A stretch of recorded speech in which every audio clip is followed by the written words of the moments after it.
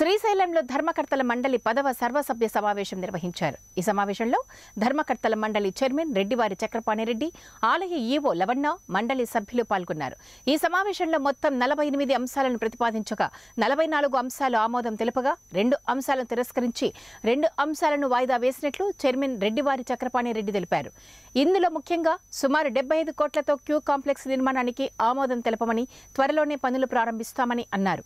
అలానే దోర్నాలలో community hall కళ్యాణ మండపం నూతన షాపింగ్ కాంప్లెక్స్కు ఆమోదం తెలపమని క్షేత్ర పరిధిలో భక్తులు ఉచితంగా ప్రయాణించుటకు నాలుగు నూతన బస్సులకు ఆమోదించమని అలానే సుమారు ఐదున్నర కోట్ల రూపాయలతో ఫారెస్ట్ బౌండరీ ఫెన్సింగ్ ఏర్పాటు కేటాయించమని ఆలయ చైర్మన్ రెడ్డి వారి చక్రపాణి రెడ్డి తెలిపారు.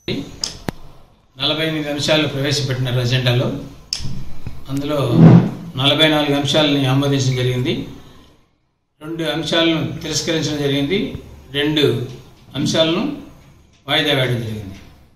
ముఖ్యంగా క్యూ కాంప్లెక్స్కి సంబంధించి దాన్ని సుమారు డెబ్బై ఐదు కోట్లు ఖర్చు అవుతుందని చెప్పి అన్నారు.